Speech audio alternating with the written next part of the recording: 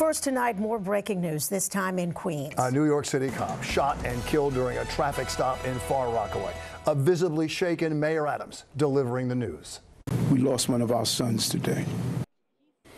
Other cops returning fire tonight, hitting one of the suspects. We have two reports. Lucy Yang on the scene with what eyewitnesses saw and heard, and Jim Dolan at Jamaica Hospital, where so many of that officer's brothers and sisters in blue are still gathered tonight.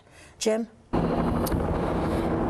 Sandra, this should have been just a routine traffic stop. A car illegally parked in a traffic in a bus stop in Far Rockaway. But as officers approached that car, one of the passengers in it pulled a gun and shot one of the officers just below his protective vest. Jonathan Diller was a father and a husband, and he was a cop who protected this city until his final breath.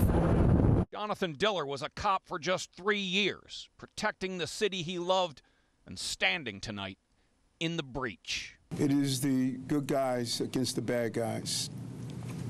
And these bad guys are violent. They carry guns.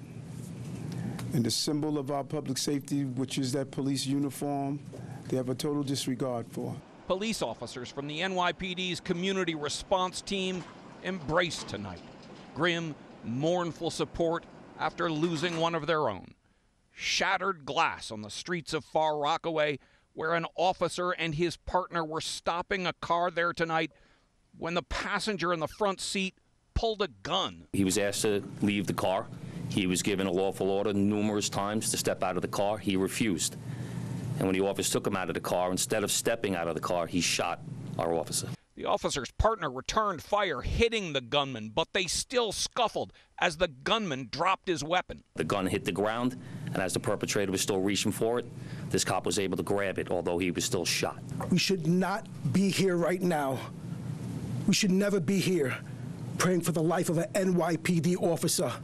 But we are, and this is why. Jonathan Diller leaves behind a wife and a child and both his parents and a city that mourns with them tonight. There'll be plenty of time for anger, grief, and for processing pain.